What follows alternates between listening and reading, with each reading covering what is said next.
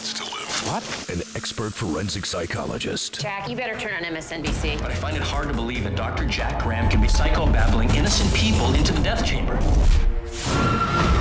What's going on here? Bill Morris was murdered last night. Physical evidence implicates you, Jack. A setup.